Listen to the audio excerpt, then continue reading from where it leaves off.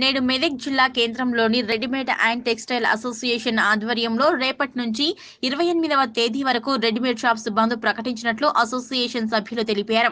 ఈ సందర్భంగా వారు మాట్లాడుతూ వ్యాపారస్తులు ముందుకు వచ్చి స్వచ్ఛందంగా మూసివేయడం హర్షించదగ్గ విషయమని అభినందించారు. పట్టణంలోని రెడీమేడ్ షాప్స్ ఎనభై ఆరు ఉన్నాయని స్వచ్ఛందంగా వారం రోజుల పాటు బంద్ ఉంటాయని తెలిపారు. ఎవరు కూడా కోవిడ్ నైన్టీన్ బారిన పడకుండా ఈ నిర్ణయం తీసుకున్నామని తెలిపారు. ఈ కార్యక్రమంలో అసోసియేషన్ కార్యదర్శి రోహిత్ ఆర్కే శ్రీనివాస్ రమేష్ బుచ్చయ్య వెంకటరమణ పలువురు పాల్గొన్నారు. టెక్స్టైల్స్ వ్యాపారస్తులు కలిసి ఉన్న ఎనభై ఐదు దుకాణాల మొత్తం మందిని ఇక్కడ ఏకదాటిపై ఉండి స్వచ్ఛందంగా కోవిడ్ నైన్టీన్కు మేము బారిన పడకుండా ఉండాలనే ఉద్దేశంతో మా రెడీమేడ్ వ్యాపారస్తులు టెక్స్టైల్ వ్యాపారస్తులు అందరం స్వచ్ఛందంగా వన్ వీక్ బంద్ చేయడం జరుగుతుంది.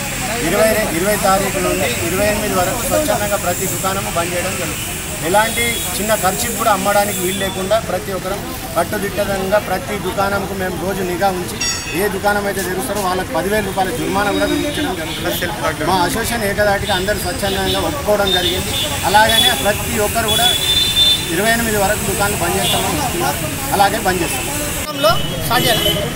ఈరోజు మెదక్ పట్టణంలో టెక్స్టైల్స్ అండ్ రెడీమేడ్ అసోసియేషన్ సభ్యులందరూ స్వచ్ఛందంగా ముందుకు వచ్చి కోవిడ్ నైన్టీన్కు అనుగుణంగా దానికి నిరసన తెలుపుతూ బంద్ చేయడం జరుగుతుంది.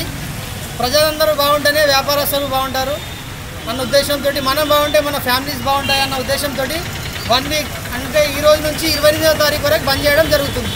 అందరూ స్వచ్ఛందంగా మనస్ఫూర్తిగా బంద్ చేస్తున్నారు.